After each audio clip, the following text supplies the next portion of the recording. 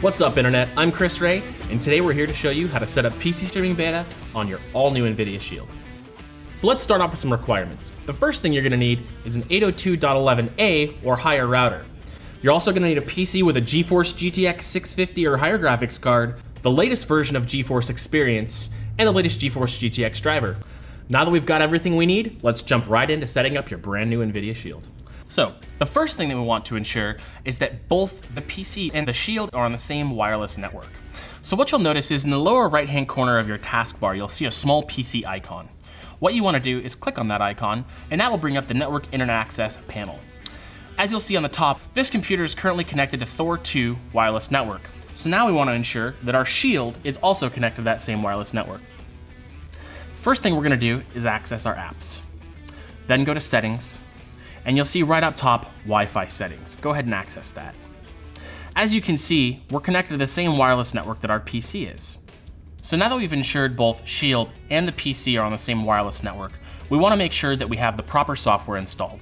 You need the latest version of GeForce Experience and the latest GeForce GTX drivers. Now what we want to do is open GeForce Experience. We want to click on the My Rig tab, which is going to be in the upper left hand corner.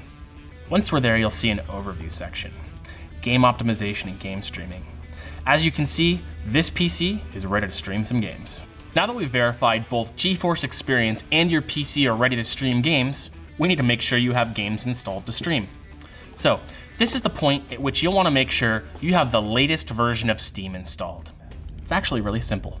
In the upper left hand corner, you'll click on Steam. You'll move down to Settings, and then in the middle of the Settings panel, you'll see Beta Participation. Click on Change, and then you'll see a new drop down appear. Click the drop down and select Steam Beta Update. From there, you'll click OK, and OK. Once your game of choice is installed, you'll want to make sure you're logged into Steam in online mode and that you've launched the game at least once. This is going to verify that any patches that need to be installed will have been installed. We've actually launched this game ahead of time, so let's move into the next step. What we want to do now is go back to GeForce Experience. We'll click on the Games tab in the upper left-hand corner, and then in the lower left-hand corner, what you'll see below is a button that will refresh your games list. Go ahead and click that. And what you'll see is that it's checking for updates to your list of games. We've actually already scanned this PC for the current list of games ahead of time, so we're ready to move on to the next step of the demo. At this point, we're ready to jump back over to Shield. So, what you'll do is pick up your Shield. Once you've got the device in your hands, you'll want to press the NVIDIA Shield button in the middle of the device.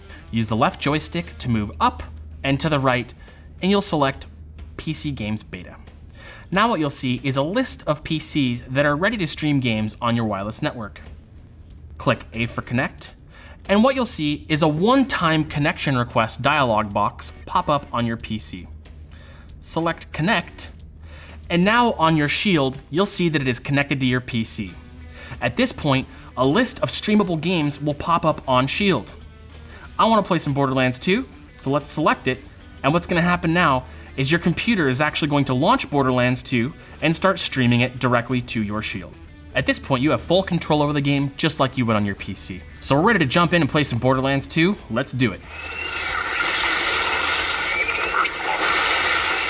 As you can see with Shield, you get all the graphical benefits of a high-end desktop PC wrapped up into an easy-to-use portable device. So now we've gone through every step that you need to do to stream games directly from your PC to your new NVIDIA Shield. As you can see, we've got Borderlands 2 streaming quite nicely right in front of us. If you have any questions on how to set up PC streaming on your new NVIDIA Shield, make sure to check out the FAQ online.